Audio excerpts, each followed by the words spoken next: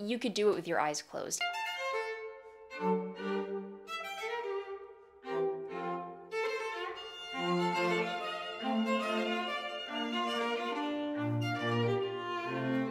Hey everybody, welcome back to my channel.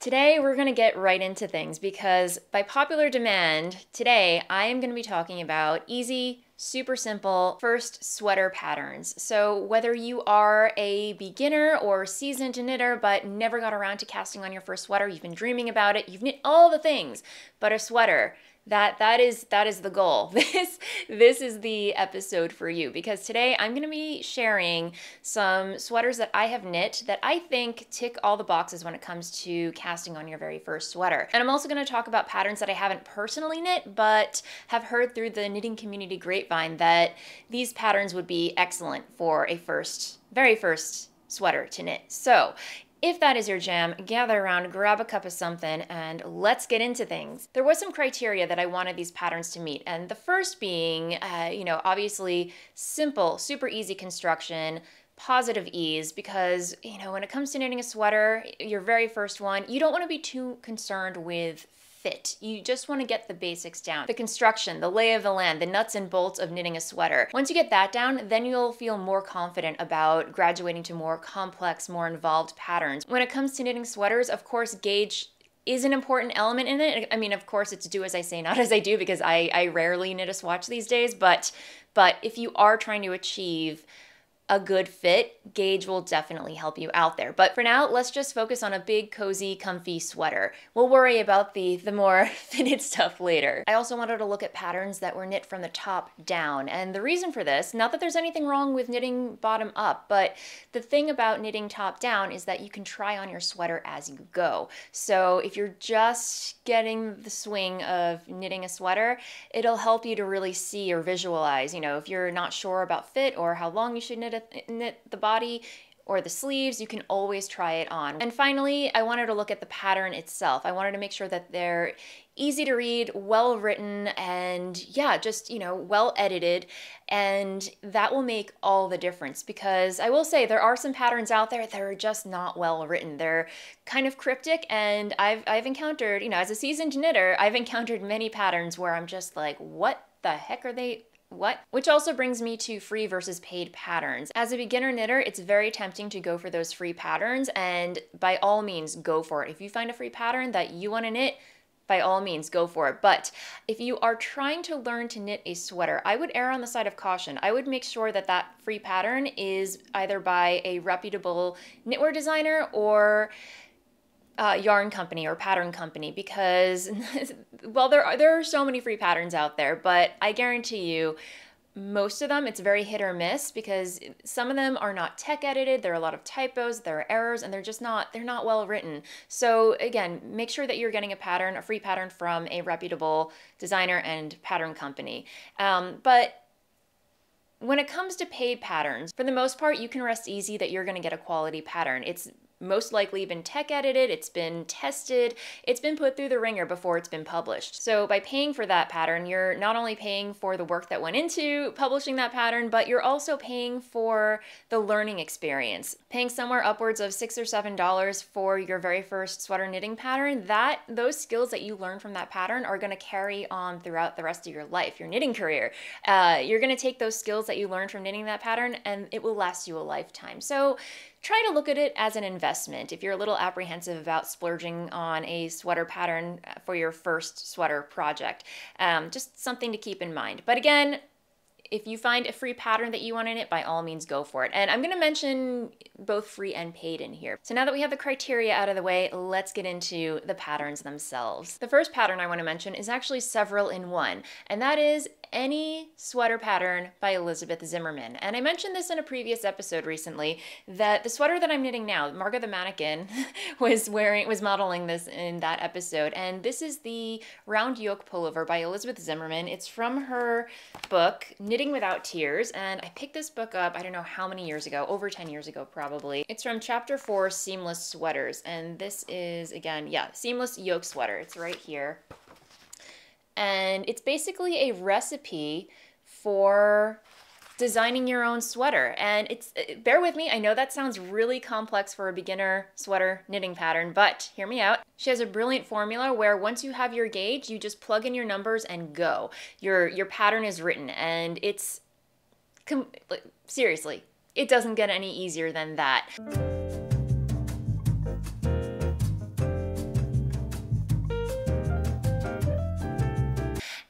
And you're looking at my sweater and you're probably thinking, Kristin, yeah, but the color work, that's insane. Like, I'm, I'm just beginning to knit a sweater. There's no, like, where did that come from? I, I hear you. I see you. And yeah, I will admit that when I knit this sweater, I was, you know, I had a couple of sweaters on my under my belt already, and I felt confident enough where once I had my numbers to knit the sweater, I pulled out a stitch dictionary, something like this. Uh, this isn't this isn't the book that I used in particular to knit this sweater. I'm not really sure what happened to that book, but you know what I mean. Just grab um, any stitch dictionary that you have lying around with color work. And, you know, I found a motif in that book that matched the numbers that I had in my um, equation and I was able just to plug and play and go with that. So again, super simple, super easy. And again, the book is Knitting Without Tears by Elizabeth Zimmermann. It's a thin book, but she has a plethora of sweater patterns in here. She's got the one that I'm wearing. She has a raglan one. She has a saddle shoulder one. Um, all, all the sweaters you can think of in here. And she really kind of you know, walks you through, holds your hand. Again, this book doesn't contain traditional knitting patterns the way we're used to seeing knitting patterns. They're more kind of like recipes. It's very, it's written out in prose. It's like she's in the room with you, holding your hand like a good friend or relative, sitting down, teaching you how to knit. And that's what I really love about this book. Um, I have a couple of uh, her other books as well. I have The Knitter's Almanac and Knitting Workshop. At, both excellent books. Honestly, if you are a knitter, get some of EZ's books in your library because they are worth their weight in gold, my friends. I will link to them down below. Number two, The Basic Raglan by Joji Locatelli. And this is a sweater that I knit for my husband. It looks like a big blue blob or more more on the black side. It's a, it's a very dark navy, if you will. Um, but I knit this for my husband because he was begging me and begging me for a sweater and I wanted something super easy, super quick to knit up. Granted, it is it is knit out of fingering weight yarn. I used um, the Fibreco's Lore, which is a really lovely, lovely yarn. I don't know if they make it anymore, but it's 100% lamb's wool.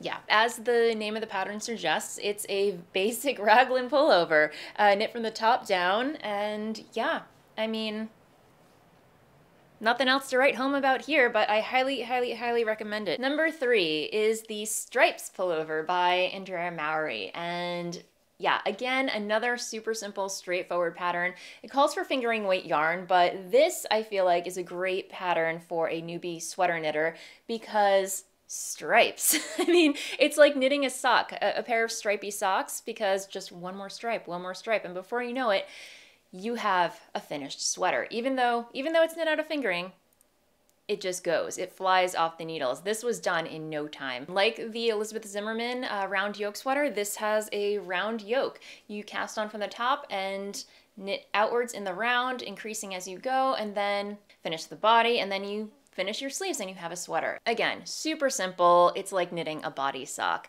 Um, and this certainly gets a lot of wear for me. I, you know, I definitely want to knit another one, maybe a little bigger. Um, but yeah, just a really, really great pattern, especially for beginners. Next up, we have the Felix pullover that Margot the mannequin behind me is wearing. This is a pattern by Amy Christoffers. And what I love about this pattern is that, again, it's just a very simple, very basic raglan pullover, but it has this really beautiful simple eyelet detail along the raglan increases. The simple eyelet detail along the raglan increases just adds a little something extra to an otherwise very, very simple pattern. And don't let that scare you away because where you would otherwise do a simple make one or make one left or make one right increase, you're simply yarning over to create that eyelet detail. Super easy. And it looks, it makes the sweater look like it was more complicated than it really was. And after you finish knitting the Felix pullover and you have a great time, you can then cast on her Felix cardigan. Yes, she has a cardigan version of the sweater, which I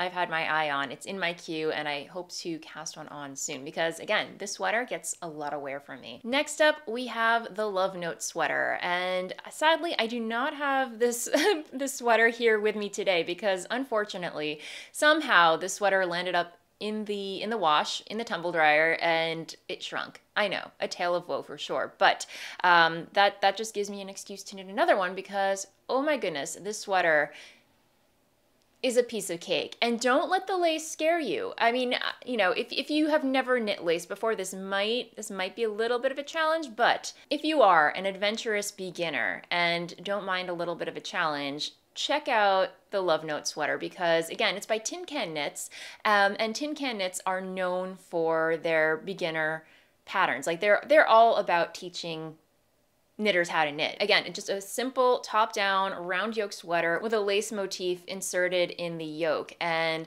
yeah, while the while the lace looks complicated, it's a very simple, very intuitive, easy to memorize stitch pattern. So again, if you're an adventurous beginner and don't mind trying a little lace. You can even knit a swatch first to make sure you get the gist of it. It's you could do it with your eyes closed. Next up, we have the no frills pullover, and this is a sweater that I'm still working on. I'm still knitting away on it. Uh, this is a pattern by Petite Knit, and yeah, just another basic raglan construction. Um, and I will say, the one, you know, while this is a very similar construction compared to the basic raglan by Joji Locatelli, each designer has a different take on it. So no no two patterns are ever the same, uh, and especially this one. This one has it has a different shape. So you know there's um there's there is some short row shaping in the back. Which if you are, by the way, if you are uh, if you've never knit a sweater before, and your pattern calls for short row shaping in the back, and you're not comfortable doing that, you can completely omit that. That's not something you have to worry about for your first pattern. When it comes to short row shaping in sweaters, what those short rows do is that it creates some extra fabric in the back of the sweater, kind of raising the neckline a little bit. So when you put the sweater on, you don't, sometimes if, you know, you have a curved back, like a hunchback like I do, and you wear a sweater without those short row shapes, the, the back, the, the hem of the sweater kind of lifts up a little bit. It's a little shorter in the back. Let me, let me stand up so you can see.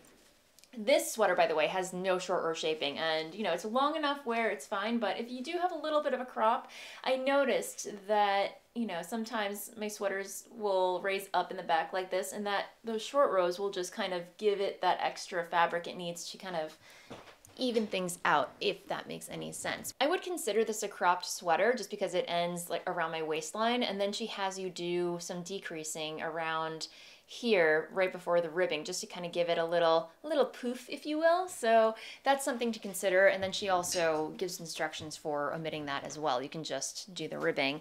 Um, so lots of options very versatile uh, sweater pattern uh, that I would definitely recommend for a beginner sweater knitter the last pattern that I've personally knit or am currently knitting is um, a very popular one. You've probably seen it floating around the internet or on your Instagram feed or on Ravelry, uh, and that is the Turtle Dove 2 by Espace Tricot. This is a free pattern. Espace Tricot, uh, like they are a yarn shop based in Montreal, and they have a wonderful catalog of free patterns that you can download. They're very simple, very to the point. Um, this is my first time knitting an Espace Tricot pattern, but you know, a lot of knitters around the knitting community love their patterns. And yeah, so this is my first time knitting one and very simple, very straightforward. It's a turtleneck and very big and flowy, loose positive ease, very cozy.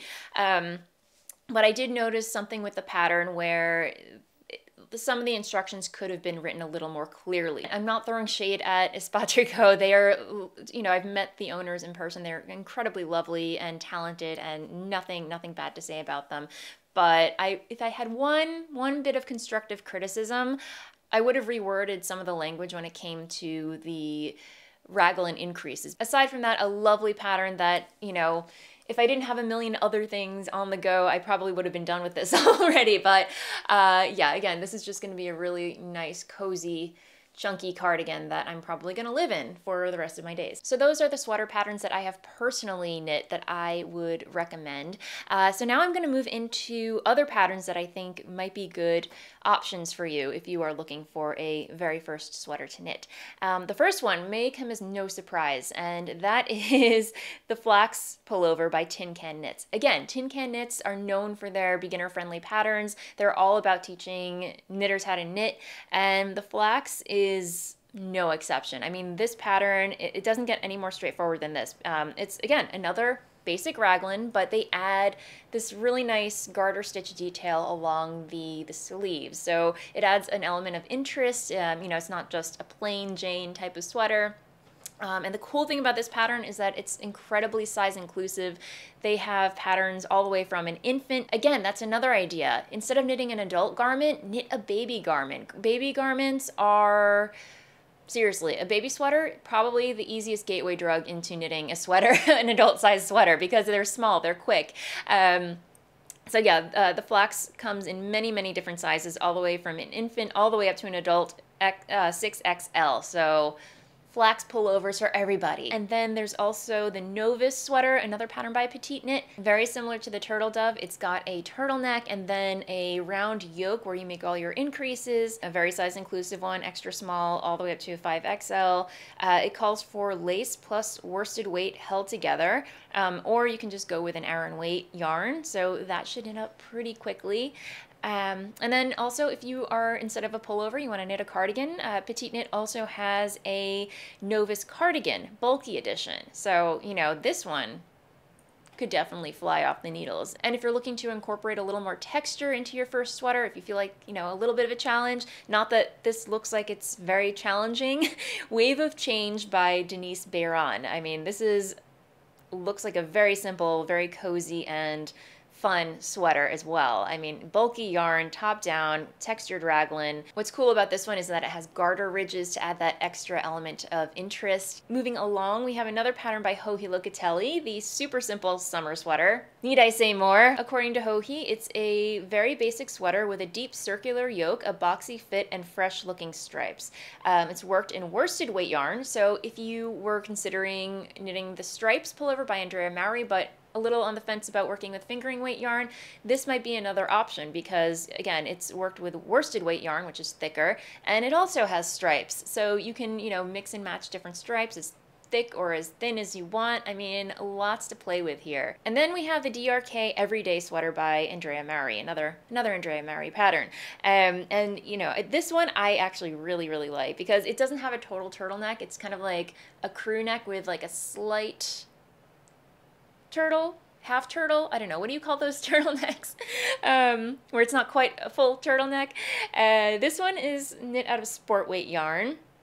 And again, just another top-down round yoke. I mean, so many top-down round yoke sweaters to be had here. Pick your poison. Then another viewer, I I'm sorry, I'm blanking on your name, but someone mentioned the Winston pullover by Jane Richmond, and I could totally see this one flying off the needles as well because it's knit out of super bulky yarn. So go to your local craft store, get yourself some super bulky fun yarn and have at it with this one. Last but not least, this is a new to me designer. I haven't really come upon her patterns before. Maybe I've just been living under a log, but um, the Gallant Sweater by Kadri. I hope I'm pronouncing that right. Um, again, just one of those, you know, half turtleneck sweaters knit out of super bulky yarn. Um, you know, raglan construction this time. And if you don't want to be fussed with ribbing, this pattern is for you. It's just cast on and go, and when you're done, you cast off. Yeah, top down raglan, no ribbing. Uh, sizes extra small to 5XL, so you're all in good company.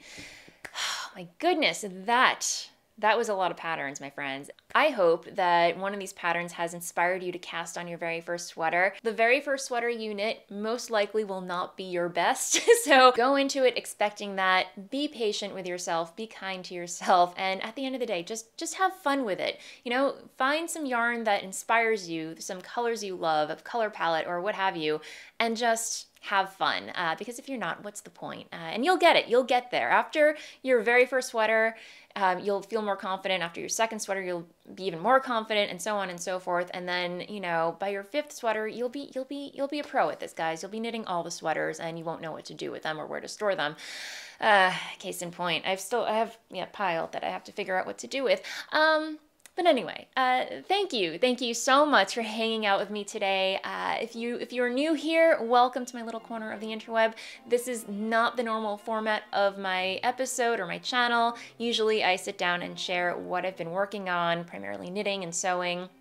But if you if you're here and you enjoyed this episode, thanks for coming by. If you haven't already, feel free to like and subscribe down below. If you'd like to support the work that I do here and unlock some perks and bonuses bonus unlock some bonus content from yours truly, consider becoming a member. All you have to do is click the join button down below, and for the price of a fancy schmancy monthly cup of coffee, you can enjoy some bonus content from yours truly. And and an invite to our private Facebook group. That said, have an amazing rest of your week, and I will see you next time.